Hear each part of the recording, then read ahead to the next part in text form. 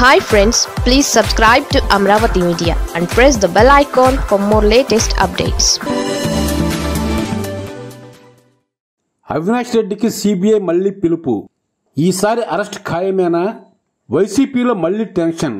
మాజీ మంత్రి వివేక హత్య కేసులో కడప ఎంపీ వైఎస్ అవినాష్ రెడ్డిని ఇప్పటికే పలు దఫాలుగా సిబిఐ విచారించిన విషయం తెలిసిందే.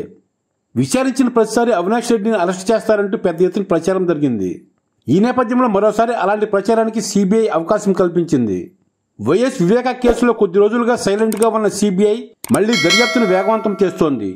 ఇందులో భాగంగా మరోసారి ఎంపీ అవినాష్ రెడ్డికి సిబిఐ నోటీసులు జారీ చేసింది.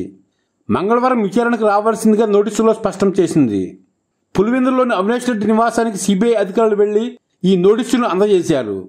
అరెస్ట్ చేయకుండా ఆదేశాలు ఇవ్వాలంటూ ఇప్పటికీ అవినాష్ రెడ్డి కోర్టును విజ్ఞప్తి చేశారు.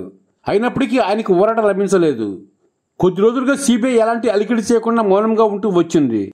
ఇప్పుడు అవినాష్ రెడ్డికి నోటీసులు జారీ చేసిన నేపథ్యంలో ఈసారి ఆయన అరెస్ట్ ఖాయమన్న ప్రచారము నడుస్తోంది. ఇది వరకు న్యాయస్థానాల్లోనూ సిబిఐ పరోక్షంగా ఈ విషయాన్ని చెప్పింది. వివేక హత్యలో అవినాష్ రెడ్డి పాత్ర ఉందని ఆయన అరెస్ట్ చేసి విచారించాలని అనుకుంటున్నామని కోర్టులకు చెప్పింది. హత్యకు ముందు తర్వాత నిందితులు అవినాష్ రెడ్డి ఇంట్లోనే ఉన్నారని సిబిఐ ఆరోపిస్తోంది. ఇప్పుడు అరెస్టుకు ఎలాంటి ఆటంకాలు లేకపోవడంతో మంగళవారం విచారణకు వచ్చిన సమయంలో అవినాష్ రెడ్డిని అరెస్ట్ చేయవచ్చని ప్రచారం జరుగుతోంది. ఎప్పటికీ అవినాష్ రెడ్డి తండ్రి భాస్కర్ రెడ్డిని సిబిఐ అరెస్ట్ చేసింది. ఇటు ఇదే కేసులో అరెస్ట్ అయిన ఉదయ కుమార్ రెడ్డి బెయిల్ పిటిషన్ను సిబిఐ కోర్టు తిరస్కరించింది. బెయిల్ ఇవ్వాలని ఉదయ కుమార్ రెడ్డి పిటిషన్ వేయగా సిబిఐ దాన్ని తీవ్రంగా వ్యతిరేకించింది. దర్యాప్తు కీలక దశలో ఉందని నిందితుడికి బెయిల్ ఇస్తే దర్యాప్తుపై తీవ్ర ప్రభావం పడుతుందని సిబిఐ వాదించింది.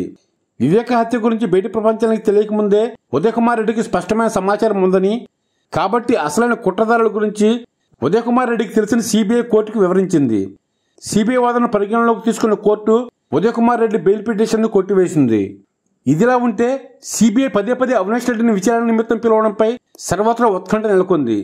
ఇంకా ఏ వివరాలు రాబట్టేందుకు అవినాష్ను సిబిఐ విచారిస్తుందనే చర్చకు తెరలేసింది.